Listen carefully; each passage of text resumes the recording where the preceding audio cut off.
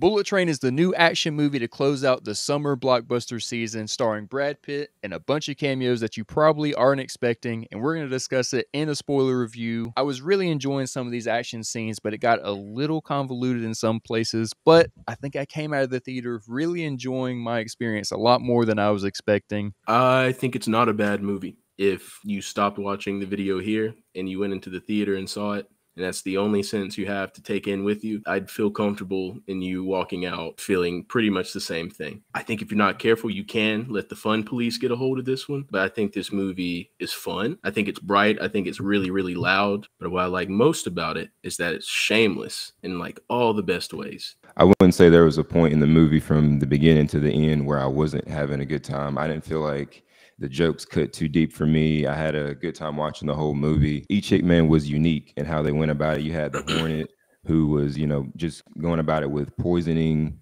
foods or poisoning drinks or stuff like that. And then you got Ladybug, who is usually just a snatch and grab kind of guy, is in here now killing other assassins based off of yeah. just pure look. And he swears he has the worst look of all time. But the wolf pulls up to him and he stabs the phone. And even he, he this is the first thing he says to him. He's like, "You're a lucky man." The trailers for this movie really undersell how much of an actual ensemble cast this is. They really lean into the Brad yeah. Pitt and they make you think that it's going to be the Brad Pitt movie. And actually, there's a lot of really great performances and really funny things that you see in this movie, exclusively from uh, Lemon and Tangerine. Really love that dynamic in the movie. It was really the heart and soul for me in this movie. But I do love that Lady Bug is not our traditional action hero where he's like very zen and trying to make sure that he's doing things very calmly. He wants to talk things out. He's really trying to give his his uh, fellow assassins advice and shit.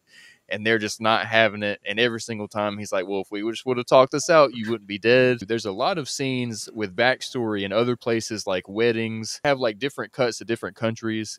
It almost, in my eyes, felt like an extension of the John Wick universe, but a little bit more cartoony. So even as I was watching scenes with the White Death, I almost thought it was Keanu under the mask for a second. Though I'm not gonna lie yeah. to you. But you know what's funny about this movie is that it starts out as like pedal to the metal traditional action movie. At some point, it becomes like a who done it movie though. It's like they're all imposters amongst one another, trying to find out the one who's fucking everything up. I did tell myself like this movie is going on a little too long. It started to drag a little bit. I know it's only like two hours. As a long two hours for me. I think this is some of the more unique action scenes that I've seen, especially early on. There's like this inclination I feel like for every action movie to kind of lean into like hyper realism. This movie understood the assignment. It knew exactly what it was, didn't shy away from it, leaned further into it with these ridiculous over the top fight scenes. They didn't take themselves too serious. And I think that's where people will have a really good time in this movie theater experience is it is a fun movie to watch. You can go in, it's not any like crazy deeper meaning. Like, yeah, they talk about fate a whole bunch in this movie. And I was like kind of juggling around which character was going to be the the MVP of the movie, which is absolutely Lemon, by the way. Tom, Thomas the Train Engine or whatever. The, the great philosophy of life. And I like that each one of their characters has a different action style to their character. Like Lemon should have been like the brute of the twin dynamic of, of Lemon and Tangerine. But he actually was more of the philosophical one that's very like, we have to ask questions before we just start shooting. It, it's broken up into like mini acts depending on where they're stopping in the station.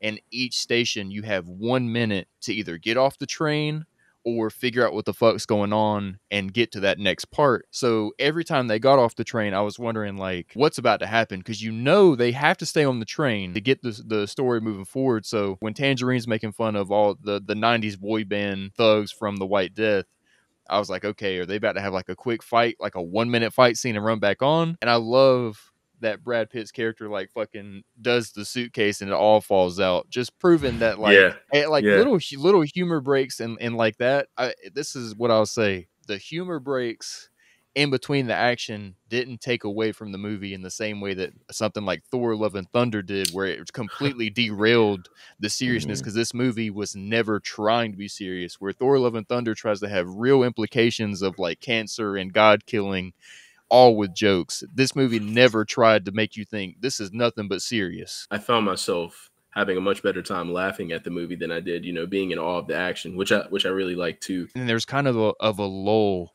in the middle of this movie where they kind of Mhm. like they kind of take a breath for a minute. They kind of let you sit with these characters. It's after the White Death like buys out all the seats and it's just them on the train and they're kind of having these character moments of like talking to each other and you're really like breaking down where they are with each other, what their mindset is, and then they pick right back up and the last like 30 minutes of this movie is like nonstop what the fuck action. I do think I like the beginning of the movie more Yeah.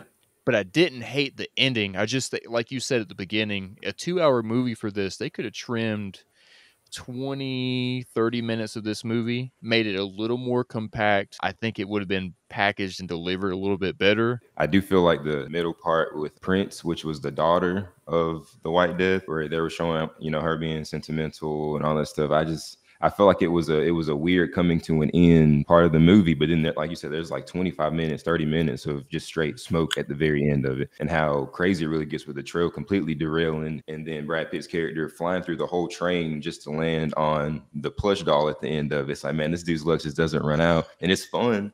But it's like, Yeah. man, you could you really could have did it maybe 20, 30 minutes ahead of time, and the movie still would have had the same effect for me. I think the action, the comedy really works in this movie. It's a good time at the movie theater, especially if you got some friends to go see it with. But I, I would say just from a, a blockbuster action movie, it's it's rocking like probably six point five out of ten, maybe seven out of ten on a really good day. No one- no one's probably leaving Bullet Train being like that was the worst piece of shit I've ever seen. I think you can go in and, and understand immediately what they were trying to set up for in that movie, and they succeed in it. I'm gonna give it a six point five as well. This movie is so fun that I think if you don't like it, it's your fault.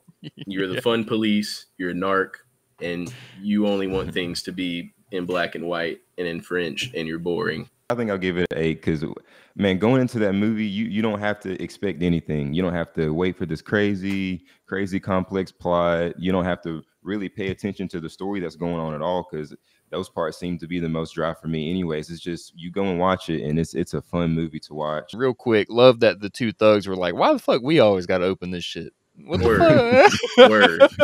Word. love that how they wrote the characters in this. If it was safe to open, why he opening this shit? So I just which was I- which a good fucking point, all things considered. Solid, solid point. let us know what you guys thought of Bullet Train. We'd love to know your thoughts in the comment down below. And if you like this video, go ahead and give it a like and subscribe to join the Dork Side so you never miss one of our other movie discussions.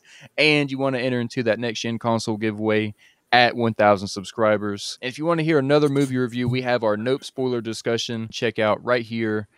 And until the next time, guys, peace.